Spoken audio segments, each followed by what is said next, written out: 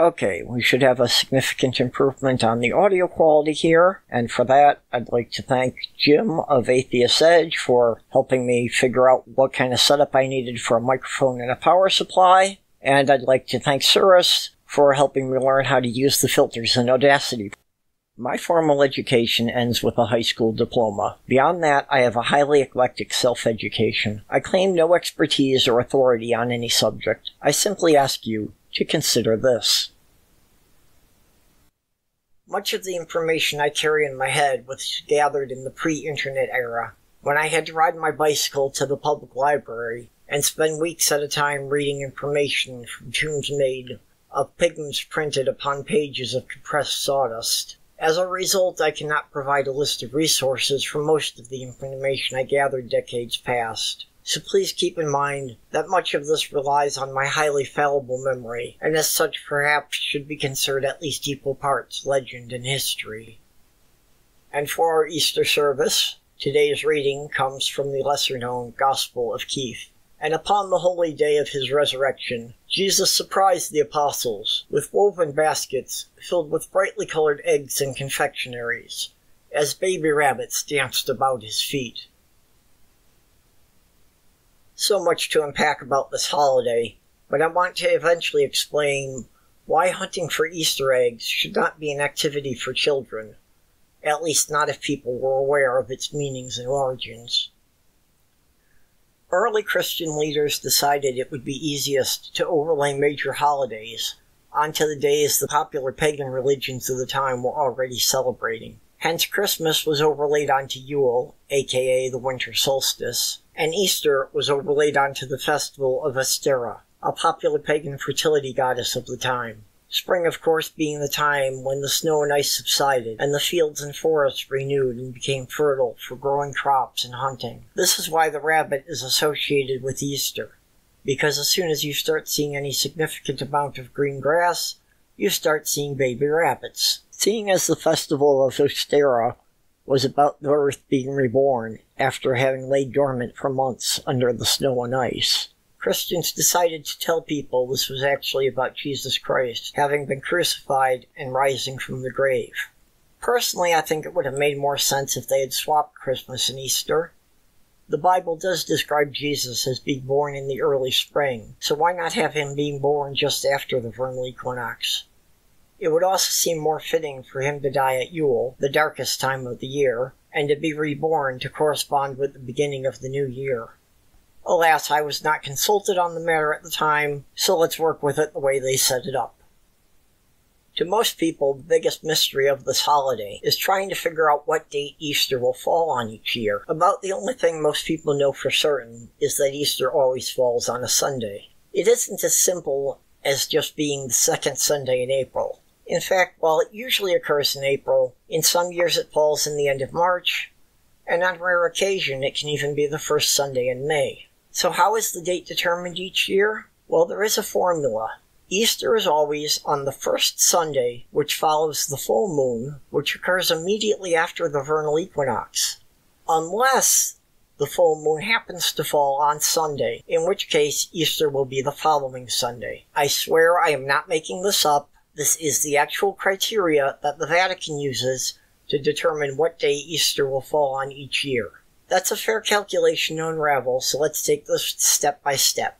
The vernal equinox, or spring equinox, is the day on which the day and the night are the same length, equinox meaning equal. So with a 24 hour rotation of the Earth, this theoretically means 12 hours of daylight and 12 hours of darkness. Of course, the length of day and night will vary with how far north or south you are from the equator. So this refers to when the day and night are of equal lengths at the Earth's equator. This happens each year around March 20th, give or take a day. So this is when the celebration of Ostara was held, because this is when the land becomes noticeably fertile, and hence signaled early agricultural societies that this was time to start planting their crops. Well, almost we have to get back to the fact that for thousands of years, people used lunar calendars instead of a solar calendar. So the full moon marked the end of the month. So the festival of Ostara was celebrated on the first full moon, which followed the vernal equinox. I'm not quite sure why they didn't go with something simple, like making Easter the first Sunday that followed the equinox. But again, calendars have been switched several times in between, and this has really gotten confused in the process. So back to the early Christian leaders trying to correspond Easter with the Feast of Ostara. So after the vernal equinox, they needed to wait for the full moon, which could take place anywhere from the following day for up to 28 days later. Then, of course, Easter had to be on a Sunday, because that's the most holy day to the Christians. So then they need to wait another one to seven days until it was Sunday. This basically meant Easter could potentially fall on any date from March 20th through April 26th. However, if it happens that the Sunday in April is the night of the full moon, then Easter must be pushed back an additional week to the first Sunday in May. Wait, why? What's wrong with having Easter be on the day when there's the full moon at the, that night? Well, basically, because the church wanted to overlay the Christian holidays onto the pagan holidays, but they also need to make certain that people are celebrating their approved holiday and not the traditional pagan festival. So they had to make certain that Easter would never fall on the same night as the festival of Ostara, even if this meant pushing it back into the following month. It should now be clear as mud to you how to figure out which date Easter will fall on each year.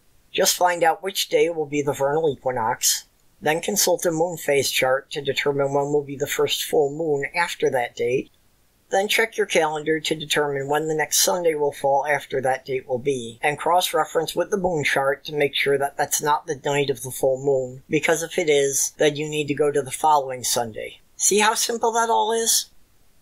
Now that we've covered how to figure out which day Easter is and why it's associated with rabbits, I think we can finally get to the topic of the colored eggs. If you need someone to explain to you why eggs are a fertility symbol, then you'd better enroll in some kind of remedial sex ed course. I'm going to assume everybody can figure that out, and I'm skipping ahead to why the eggs are colored, or at least originally why they were each decorated with unique marks on each egg.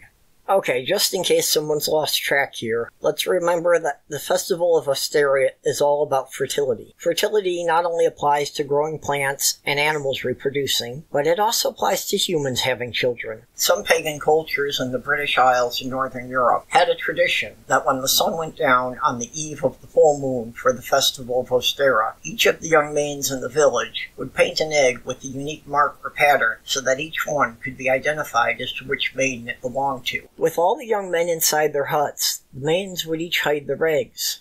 After they had all hidden their eggs and gathered at a bonfire, a signal would be sounded, usually a horn, and the young men would come out of the huts to search for the eggs. Each young man, upon finding an egg, would go to the bonfire to find out which maiden's egg it was he had found.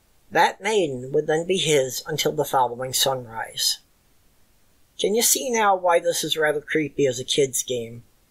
The prize for finding an egg was having a random teenage girl sleep with you, pretty much regardless of whether she liked it or not. The girls really didn't have a whole lot of choice in the entire affair. If you're participating in a celebration in honor of a deity, you pretty much have to go along with it. Remember, these people had been indoctrinated since birth into the religion, so questioning the existence of the deity likely never occurred to anyone. You were engaged in a celebration designed to honor this deity, so going against the accepted tradition would be breaking the rules, and that was likely to piss off said deity, who you ended up spending the night with was regarded as being the will of the gods. Would you be willing to risk the consequences of offending a god? Highly unlikely, even if this meant you had to have sex with someone you found repulsive. But since Christians stripped the holiday of its original meaning, what was originally a random pairing up of teenagers is now considered a game for any child old enough to walk.